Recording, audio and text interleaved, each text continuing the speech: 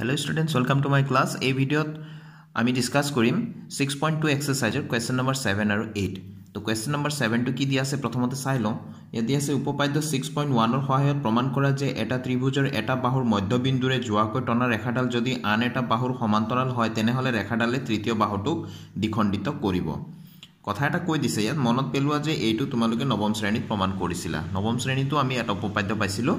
মধ্যবিন্দু ত্ৰিভুজৰ মধ্যবিন্দুৰ উপপাদ্য তাত প্ৰমাণ কৰিছিলোঁ যিয়ে নহওক আমি ছিক্স পইণ্ট ওৱান উপপাদ্যৰ সহায়ত এই কথাখিনি আমি যি কৈছে এই কথাখিনি আমি প্ৰমাণ চিত্ৰৰ সহায়ত আমি বুজিবলৈ চেষ্টা কৰোঁ যিটো কুৱেশ্যন নম্বৰ ছেভেনত দিয়া আছে। ইয়াত ধৰি লৈছোঁ এ বি চি এটা ত্ৰিভুজ ইয়াৰ এ বি বাহুৰ মধ্যবিন্দু আমি ধৰি ল'লোঁ পি ঠিক আছে? এতিয়া পি বিন্দুৰে এই মধ্যবিন্দুৰে এডাল ৰেখা এনেকৈ পাৰ হৈ গৈছে। এই ৰেখাডাল কেনেকুৱা? এই বি চিৰ সমান্তৰাল ঠিক আছে? বি চিৰ সমান্তৰালকৈ পাৰ হৈ গৈ গৈ এইটো এ চিক ক'ৰবাত এটাত কাটিছে কিউ বিন্দুত কাটিছে ধৰি লৈছোঁ। এতিয়া এই কিউ বিন্দুটো যে এ চিৰ মধ্যবিন্দু হয় সেইটোৱে আমি প্ৰমাণ কৰিব লাগে ঠিক আছে? আকৌ এবাৰ কৈ আছোঁ এ বি চি ত্ৰিভুজৰ এ বি বাহুৰ মধ্যবিন্দু পিৰ মাজেদি এডাল ৰেখা এনেকৈ টানি দিয়া হৈছে। এই ৰেখাডাল সাধাৰণ ৰেখা নহয় এইডাল ৰেখা বি চি বাহুৰ সমান্তৰাল আন এডাল বাহুৰ সমান্তৰাল বুলি কৈছে। গতিকে বি চি বাহুৰ সমান্তৰাল বুলি ধৰি লৈছোঁ পি কিউটো। গৈ গৈ ই এ চি বাহুক চি বিন্দুত চৰি কিউ বিন্দুত কাটিছে গতিকে কিউ বিন্দুটো যে এ চিৰ মধ্যবিন্দু হয় অৰ্থাৎ A Q equal to Q C সেইটো আমি প্ৰমাণ কৰিব লাগে। এ কিউ কথাখিনি আমি ষ্টুডেণ্টছ এনেকৈ লিখি ল'লোঁ। ধৰা হ'ল এই ত্ৰিভুজ এ বি চিত পি কিউ সমান্তৰাল B C P Q to B চিৰ সমান্তৰাল। পি বিন্দু এ বি বাহুৰ মধ্যবিন্দু পি বিন্দুটো এ বি বাহুৰ মধ্যবিন্দু। তেন্তে প্ৰমাণ কৰিব লাগে A Q equal to Q C A Q P A বিৰ মধ্যবিন্দু। যদি মধ্যবিন্দু হয় তেনেহ'লে A P equal to P B হ'ব। পিটো যদি একেবাৰে মাজৰ বিন্দু হয় এ বিৰ তেনেহ'লে এ পি সমান পি বি হ'ব। অৰ্থাৎ ইয়াৰ পৰা আমি ক'ব পাৰোঁ যে A P by P B equals one ঠিক আছে? অৰ্থাৎ এ পি আৰু পি বি যিহেতু সমান গতিকে এইটোৱে সেইটো হৰণ কৰিলে আমি কিমান পাওঁ? ওৱান পাম। ঠিক আছে? এইটো আমি ওৱান বুলি দি থ'লোঁ। ইকুৱেশ্যন নম্বৰ ওৱান সমীকৰণ এক বুলি দি থ'লোঁ। যিহেতু পি কিউ সমান্তৰাল বি চি হয়। তো এতেকে থেলছৰ থেলছৰ উপপাদ্য মতে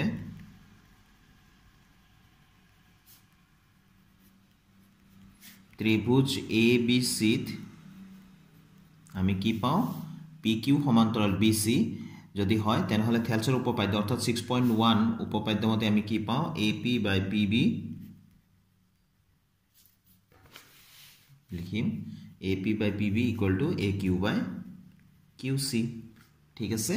তো A P by P B মানে সমীকৰণ একত উলিয়াই থৈছোঁ ওৱান বুলি। গতিকে ইয়াত আমি ওৱান পাতি দিম। তো এইটো A Q by Q C হ'ল। ক'ৰ পৰা পাতিলোঁ?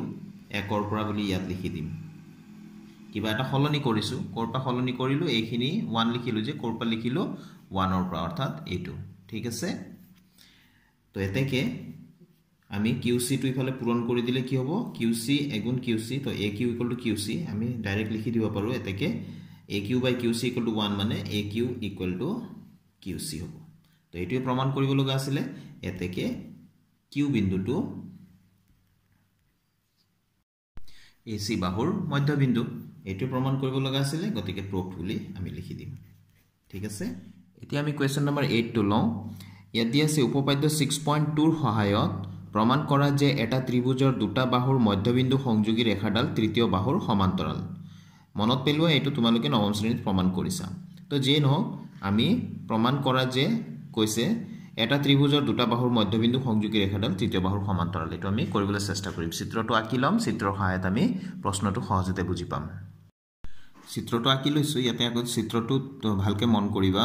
তোমালোকে ইয়াতে ত্ৰিভুজ এ বি চিৰ এ বি বাহুৰ মধ্যবিন্দু ধৰি লৈছোঁ পি আৰু এ চি বাহুৰ মধ্যবিন্দু ধৰি লৈছোঁ কিউ এতিয়া এই পি আৰু কিউ সংযোগ কৰা ৰেখাডাল এইটো ৰেখাডাল হৈ গ'ল পি কিউ এতিয়া প্ৰমাণ কৰিব লাগে এই পি কিউটো বি চিৰ সমান্তৰাল হয় বুলি। ঠিক আছে?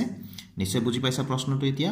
এতিয়া ইয়াত লিখিছোঁ সেই কথাখিনিয়ে ধৰা হ'ল ত্ৰিভুজ এ বি চিৰ এ বি আৰু এ চি বাহুৰ মধ্যবিন্দু ক্ৰমে পি আৰু কিউ এ বি আৰু এ চি বাহুৰ মধ্যবিন্দু ক্ৰমে পি আৰু কিউ প্ৰমাণ কৰিব লাগে এই পি কিউটো বি চিৰ সমান্তৰাল। ঠিক আছে? যিহেতু আমি লিখি লৈছোঁ ইয়াতে যিহেতু পি বিন্দু এ বিৰ মধ্যবিন্দু। এ বি বাহুৰ মধ্যবিন্দু দিয়া আছে। গতিকে আমি লিখিব পাৰোঁ A P by P B equals one হয়নে? এইটো যদি মধ্যবিন্দু হয় এ পি যিমান দীঘল হ'ব পি বিও সিমান দীঘল।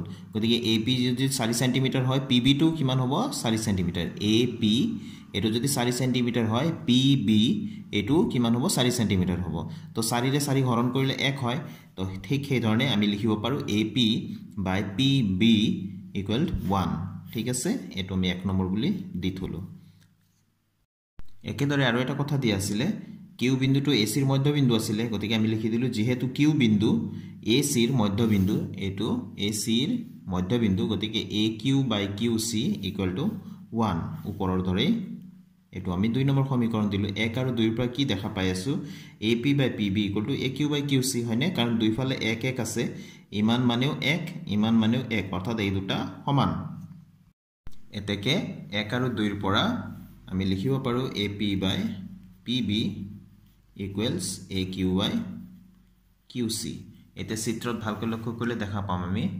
এইটো চোৱা A P by P B equals A Q by Q C এই দুটা এই ৰিলেশ্যনৰ পৰা। A P by P B equal to A Q by Q C এইটো কি হয়? এনেকুৱা যদি হয় এটা ত্ৰিভুজত এটা নিৰ্দিষ্ট দুটা বিন্দুত বাহু দুটাৰ যদি দুটা বিন্দু তেনেকুৱাকৈ বাহু দুটা যদি সমান অনুপাতত ভাগ হৈছে A P by P B equal to A Q by Q C হৈছে তেনেহ'লে থেলছৰ বিপৰীত উপপাদ্য অৰ্থাৎ ছিক্স পইণ্ট টু উপপাদ্যমতে আমি লিখিব পাৰোঁ P Q by B C কথাখিনি লিখি দিলোঁ এতেকে ত্ৰিভুজ এ বি চিত থেলছৰ বিপৰীত উপপাদ্য অৰ্থাৎ ছিক্স পইণ্ট টু উপপাদ্য মতে পি কিউ সমান্তৰাল বি চি তো এইটোৱে হৈ গ'ল আমাৰ প্ৰমাণ কৰিবলগীয়াটো গতিকে আমি লিখি দিম প্ৰমাণিত হ'ল। তো দুইটা প্ৰশ্নই সহজ আছিলে হয়নে? অতি সহজ তো ভেৰি চিম্পল আছিলে। তো আমি ছল্ভ কৰিলোঁ নিশ্চয় তোমালোকে বুজি পাইছা। তো আজিৰ ভিডিঅ'টো মই ইয়াতে সামৰি ষ্টুডেণ্টছ নেক্সট ভিডিঅ'ত আকৌ লগ পাম নতুন কুৱেশ্যনৰ চলিউশ্যনৰ সৈতে। থেংক ইউ ষ্টুডেণ্টছ কিপ ৱাচিং মাই চেনেল